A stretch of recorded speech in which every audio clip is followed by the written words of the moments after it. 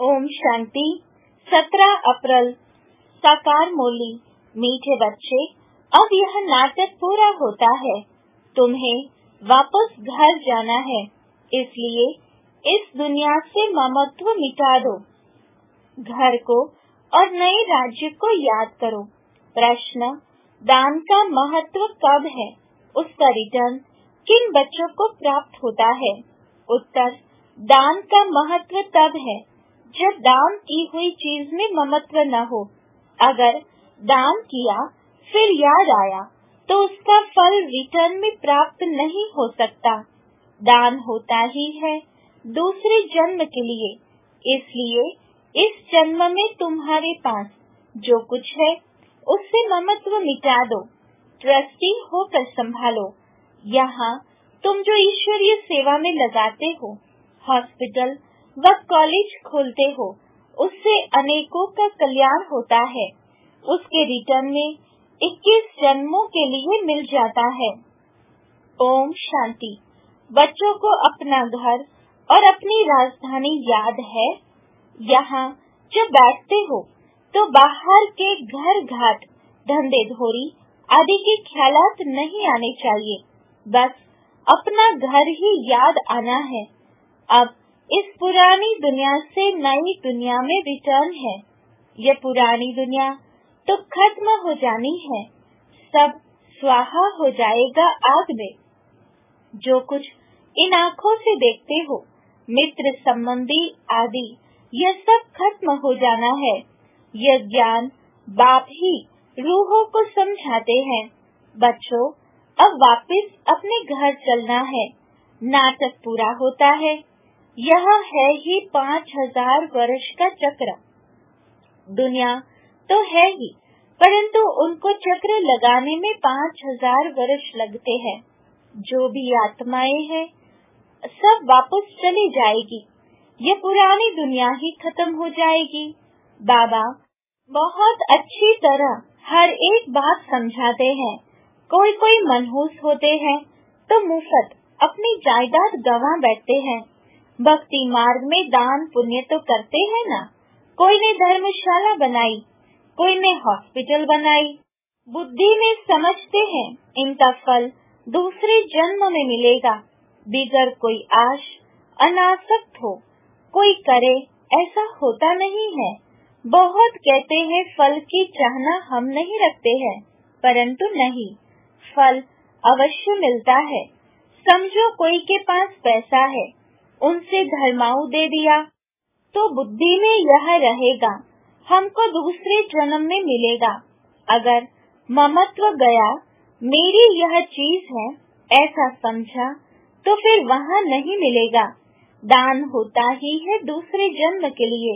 जबकि दूसरे जन्म में मिलता है तो फिर इस जन्म में ममत्व क्यों रखते?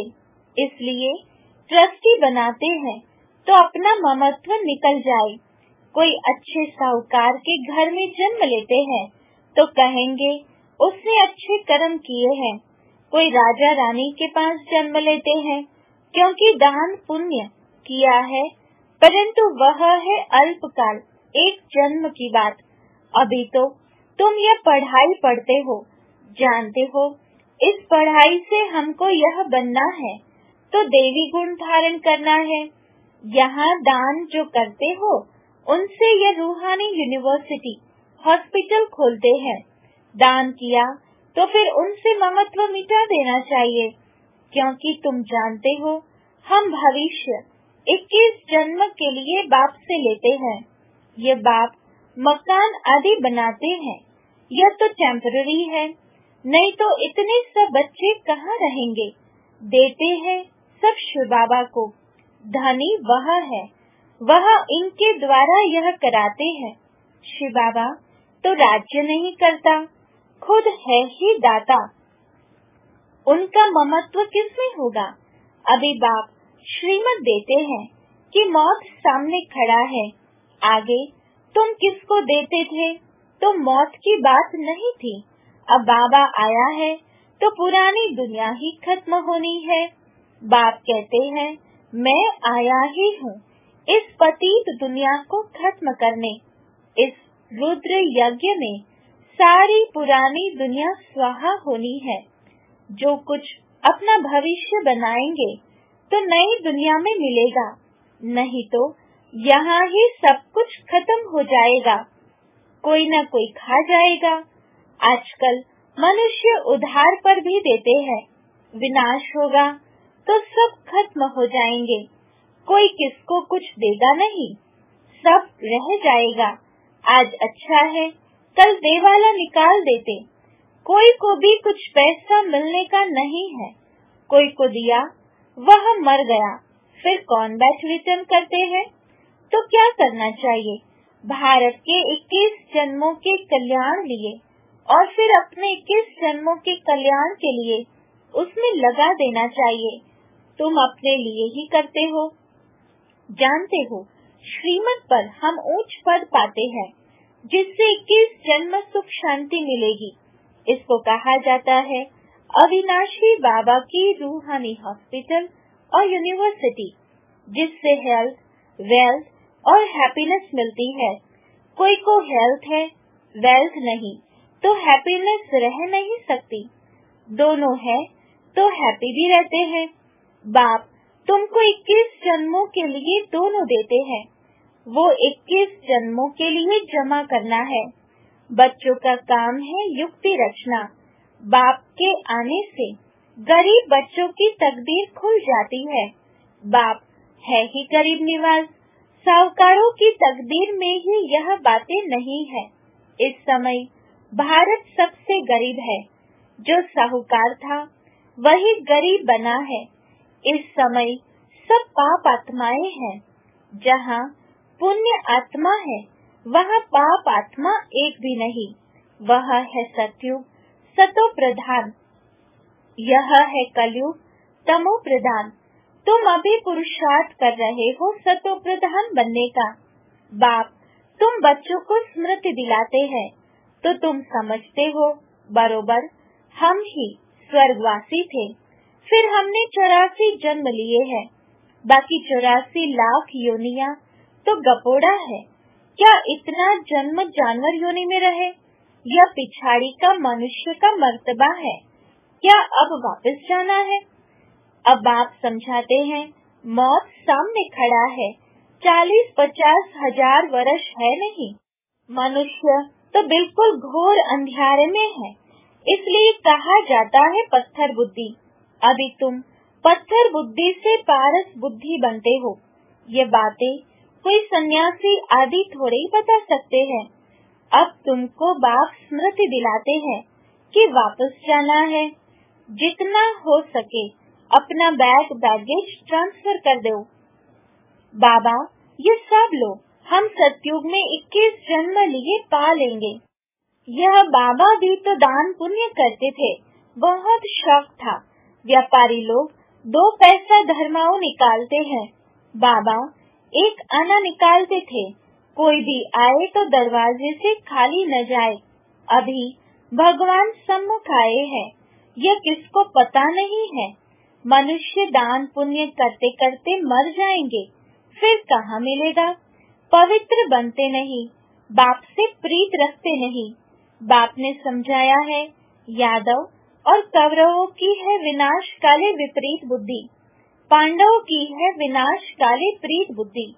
यूरोप वासी सब यादव है, जो मुसल आदि निकालते रहते हैं। शास्त्रों में तो क्या क्या बातें लिखती है?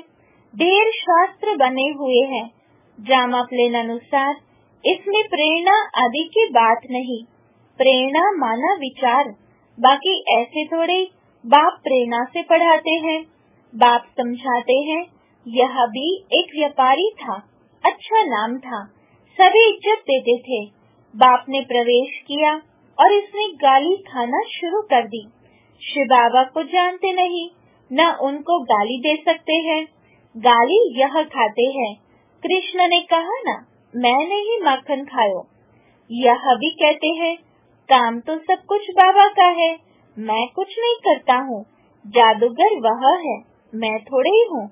मुफ़्त में इनको गाली दे देते हैं। हमने कोई को भगाया क्या? किसको भी नहीं कहा कि तुम भाग कर आओ। हम तो वहाँ थे, या आपे ही भाग आए।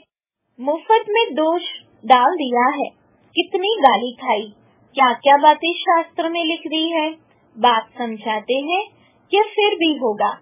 यह है सारे ज्ञान की बात। कोई मनुष्य यह थोड़ी कर सकता है। सो भी ब्रिटिश गवर्नमेंट के राज्य में कोई के पास इतनी कन्याएँ माताएँ बैठ जाए, कोई कुछ कर न सके। कोई के संबंधी आते थे तो एकदम भगा देते थे। बाबा तो कहते थे, बल इनको समझा कर ले जाओ, मैं कोई मना थोड़ी करता हूँ। परंतु किसकी हिम्मत नहीं होती थी? बाप की ताकत थी ना। नथिंग न्यू ये फिर भी सब होगा। गाली भी खानी पड़े द्रौपदी की भी बात है। ये सब द्रौपदिया और दुशासन है। एक की बात नहीं थी। शास्त्रों में यह गपोड़े किसने लिखे? बाप कहते हैं, यह भी ड्रामा में पार्ट है। आत्मा का ज्ञान ही कोई में नहीं है। बिल्कुल ही देह अभिमानी बन पड़े हैं। देही अभिमानी बनने में मेहनत है। रावण ने बिल्कुल ही उल्टा बना दिया है। अब आप सुलझा बनाते हैं। देही अभिमानी बनने से स्वतः स्मृति रहती है कि हम आत्मा है। यह देह बाजा है बजाने लिए। ये स्मृति भी रहती तो देवी गुण भी आते जाते हैं। तुम किसको दुख भी नहीं दे सकते। भारत में ही इन लक्ष्मी नारायण का राज्य था। पाँच हज़ार वर्ष की बात है। अगर कोई लाखों वर्ष कहते हैं तो घोर अंधियारे में है। ड्रामा अनुसार जब समय पूरा हुआ है, तब बाप फिर से आया है। अब बाप कहते हैं, हमारी श्रीमत पर चलो। मौत सामने खड़ा है। फिर अंदर की जो कुछ आशा है, वह रह जाएगी।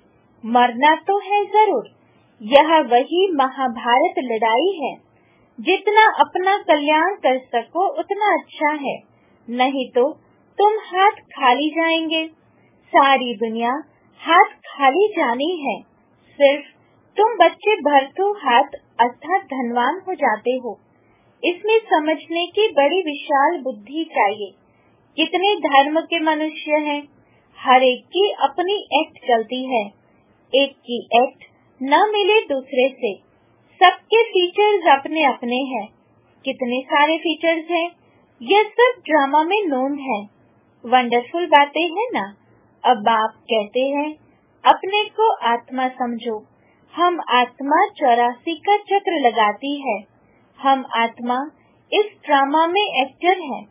इनसे हम निकल नहीं सकते, मोक्ष पा नहीं सकते, फिर ट्राई करना भी फालतू है। बाप कहते हैं ड्रामा से कोई निकल जाए, दूसरा कोई एंड हो जाए, यह हो नहीं सकता। इतना सारा ज्ञान सबकी बुद्धि में रह नहीं सकता। सारा दिन ऐसे ज्ञान में रमण करना है। एक घड़ी, आधी घड़ी, ये याद करो, फिर उनको बढ़ाते जाओ। आठ घंटा बस फुल सर्विस करो, आराम भी करो। इस रूहानी गवर्नमेंट की सर्विस में भी टाइम दो।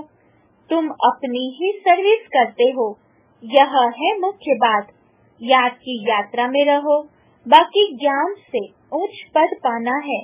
याद का अपना पूरा चार रखो। ज्ञान तो सहज है, जैसे बाप की बुद्धि में है कि मैं मनुष्य सृष्टि का बीज रूप हूँ। इनके आदि मध्य अंत को जानता हूँ। हम भी बाबा के बच्चे हैं। बाबा ने यह समझाया है, कैसे यह चक्र फिरता है। उस कमाई के लिए भी तुम आठ दस घंटा देते हो ना? अच्छा ग्राहक मिल जाता है तो रात को कभी उबासी नहीं आती है। उबासी दी तो समझा जाता है कि यह थका हुआ है। बुद्धि कहाँ बार भटकती होगी? सेंटर पर भी बड़ा खबरदार रहना है। जो बच्चे दूसरों का चिंतन नहीं करते हैं, अपनी पढ़ाई में ही मस्त रहते हैं, उनकी उन्नति सदा होती रहती है। तुम्हें दूसरों का चिंतन कर अपना पद भ्रष्ट नहीं करना है। Hear no evil see no evil कोई अच्छा नहीं बोलता है तो एक कान से सुन, दूसरे से निकाल दो। हमेशा अपने को देखना चाहिए, न कि दूसरों को। अपनी पढ़ाई नहीं छोड़नी चाहिए। बहुत ऐसे रूट पड़ते हैं। आना बंद कर देते हैं, फिर आ जाते हैं। नहीं आएँगे तो जाएँगे कहाँ? स्कूल तो एक ही है। अपने पैर पर कुल्हाड़ा नहीं लगाना है। तुम अपनी पढ़ाई में मस्त रहो। बहुत खुशी में रहो। भगवान पढ़ाते हैं। बाकी क्या चाहिए? भगवान हमारा बाप टीचर सदगुरु है। उनसे ही बुद्धि का योग लगाया जाता है। वह है सारी दुनिया का नंबर वन माशुक, जो तुमको नंबर वन विश्व का मालिक बनाते हैं। बाप कहते हैं, तुम्हारी आत्मा बहुत पतित है, उड़ नहीं सकती। पंख कटे हुए हैं। रावण ने सभी आत्माओं के पंख काट दिए हैं। शिवामा कहते हैं, मेरे बिगर कोई पावन बना नहीं सकता। सब एक्टर्स यहाँ हैं। वृद्धि को पाते रहते हैं। वापस कोई जाते नहीं। अच्छा मीठे मीठे सिकिलधे बच्चों प्रति माता पिता बाप दादा का याद प्यार और गुड मॉर्निंग रूहानी बाप के रूहानी बच्चों को नमस्ते। रूहानी बच्चों की रूहानी बाबा को याद प्यार गुड मॉर्निंग और नमस्ते। धारणा के लिए मुख्य सार। पहले पॉइंट स्वयं के चिंतन और पढ़ाई में मस्त रहना है। दूसरों को नहीं देखना है। अगर कोई अच्छा नहीं बोलता है तो एक कान से सुन, दूसरे से निकाल देना है। रूट करके पढ़ाई नहीं छोड़नी है। दूसरी पॉइंट जीते जी सब कुछ दान करके अपना ममत्व मिटा देना है। पूरा विल कर, ट्रस्टी बन, हल्का रहना है। देही अभिमानी बन, सर्व देवी गुण धारण करने हैं। वरदान, बाप और सेवा की स्मृति से। एक स्थिति का अनुभव करने वाले सर्व आकर्षण मुक्त भव। विस्तार, जैसे सर्वेंट को सदा सेवा और मास्टर याद रहता है, ऐसे वर्ल्ड सर्वेंट सच्चे सेवाधारी बच्चों को भी बाप और सेवा के सिवाय कुछ भी याद नहीं रहता। इससे ही एक स्थिति में रहने का अनुभव होता है। उन्हें एक बाप के रस के सिवाय सब रस नीरस लगते हैं। एक बाप के रस का अनुभव होने के कारण कहाँ भी आकर्षण नहीं जा सकती। यह एक स्थिति का तीव्र पुरुषार्थ ही सर्व आकर्षणों से मुक्त बना देता है। यही श्रेष्ठ मंजिल है। स्लोगन, नाजुक परिस्थितियों के पेपर में पास होना है तो अपने नेचर को शक्तिशाली बनाओ। ओम शांति।